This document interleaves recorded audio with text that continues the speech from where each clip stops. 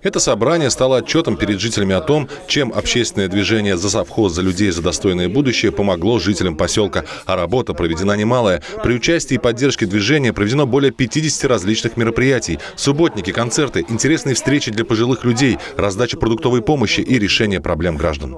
Были такие, знаете, какие-то вот моменты, которые без вас, жителей, мы бы не смогли победить. Например, нам э, в районе там, 16-го дома худо-бедно удалось положить лежащие полицейские. Естественно, это сделали не мы. Но если бы наша общественная организация не взялась за установку этих полицейских, вряд ли бы сейчас они там стояли. Точно такие же истории можно вспомнить и по пандусам в 15-х домах, и по ремонту э, каких-то э, подъездов, которых, до которых никогда в жизни не доходила э, очередь почему-то. Сейчас ситуация кардинально меняется. Многие мероприятия проводятся с участием представителей компании «Рота Агро», главного акционера ЗАО «Совхоз» имени Ленина. Здесь и организация доставки школьников в бассейн, и обеспечение продленки в школе горячим питанием, и поставка в школу оргтехники, и пополнение фонда местной библиотеки. Председатель Совета директоров «Рота Агро» Павел Бурлаков еще раз озвучил планы по социальной политике предприятия. То есть те долги, которые у работников есть по жилью служебному, мы это все обнулим и полностью людям квартиры отдадим.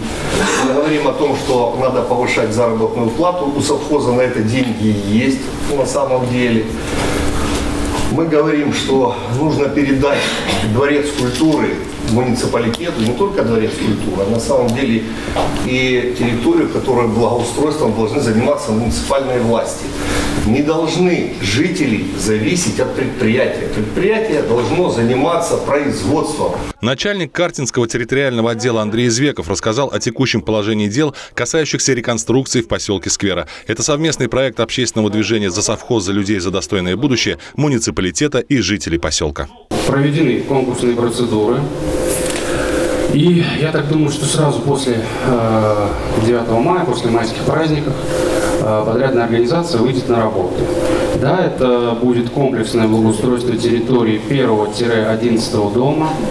Э, это будет устройство э, детской площадки, устройство э, тихой зоны отдыха. На заседании движения была поддержана важная инициатива, с которой выступили местные жители – создание Совета поселка. К нам э, обращается с вопросом создания совета поселка. Вот, э, сейчас э, прорабатывается этот вопрос, э, количество человек и так далее. Кто в нее будет входить? Жители, представители культуры, представители спорта, представители почты, администрации, акционеров э, ЗАО, библиотеки. То есть можно набрать